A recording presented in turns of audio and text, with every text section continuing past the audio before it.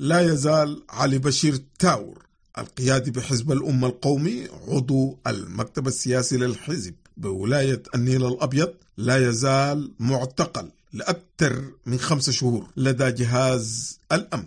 وكان جهاز الأمن اعتقل تاور وهو أيضا عضو الهيئة المركزية لحزب الأمة اعتقلوا في شهر 11 الفات في مطار الخرطوم لما كان جراجع من دولة جنوب السودان من مهمة رسمية تتعلق بعقد مؤتمر للسلام والتعايش بين القبائل في مناطق التمازج وقالت الدكتورة مريم الصادق نائب رئيس حزب الأمة القومي قالت لراديو دبنجا إنه اعتقال تاور يكشف عن عقلية النظام اللي بيشوف في كل داعية سلام عدو لها. ولا تزال أسرة تاور لا تعلم بمكان وجوده ولم توجه له أي تهمة ولم يقدم للمحاكمة. وأضافت الدكتورة مريم الصادق نائب رئيس حزب الأمة القومي لراديو دبنجا في هذا الخصوص. نحن من حزب الأمة عندنا الحبيب حتى الآن معتقل الحبيب علي بشير تاور السليمي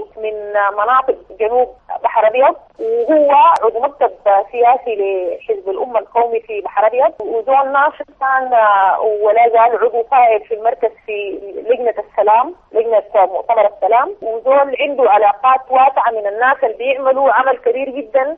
لمسألة التعايش السلمي ما بين القبائل خاصة القبائل مناطق التماس. اللي بنسعى على انها تكون مناطق تمازج ما بيننا وما بين أهلنا في جنوب السودان. دول أساسي ابدا كان بيعمل ولا زال بيعمل في مسائل السلام ما بين القبائل وما بين مناطق التماس. تم اعتقاله لأنه مشى في عمل من من هذا النوع. عمل فيه سلام للأهل سلام للبلد وتم اعتقاله من قبل السلطات الامنيه بس الآن فترة بتزيد عن 24 أسبوع ولا قدمت له تهم ولا يعني عاملين عليه تاثير كبير. ودي ده بوري بالضبط العقلية اللي بتسود هذا النظام. ناس بيسعوا للحرب بيسعوا لتفريق الحرب بيكون عدو بصورة مباشرة كل من يسعى للسلام وفي عدد من الأحباب برضه ما زال معتقلين ومن شباب القوى السياسية في الأستاذ غالب خيفور الشايب من قوى الاتحادية. معتقل برضه من يوم 18 3 في عدد من القيادات الشبابية خاصة من الأهل من دارفور بالذات الطلاب دول يعني